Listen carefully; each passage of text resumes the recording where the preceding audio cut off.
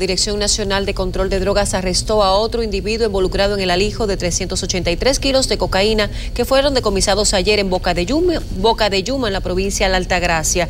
La agencia antidrogas también se incautó de otro apartamento de lujo que estaba en poder de una red de narcotráfico internacional. Claudia Rodríguez está en directo desde la DNCD con los detalles adelante.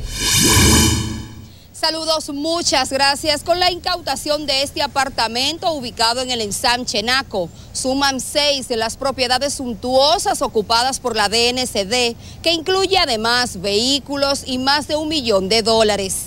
Las propiedades están ubicadas en las avenidas Enriquillo, Núñez de Cáceres y Abraham Lincoln y en la calle Tetelo Vargas. Eh, locales comerciales, eh, eh, dos locales comerciales, tres apartamentos eh, y además vehículos y la cantidad de más de un millón de dólares, otras monedas y un armas de fuego.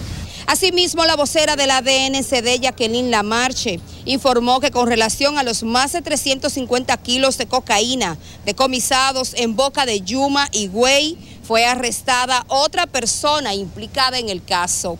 En el día de ayer, pues eh, estábamos siguiéndole la, pista al, nombrado Manuel Emilio, Emilio, Manuel Emilio Cedeño Cedeño, quien eh, pues eh, fue arrestado en la terminal del ferry de Santo Domingo tratando de abordarlo para huir eh, de, la justicia dominicana hacia Puerto Rico. La entidad antinarcóticas aseguró que las indagatorias continúan para arrestar a otros posibles vinculados. Es todo lo que tengo hasta el momento desde la DNCD. Ahora paso con ustedes a los estudios.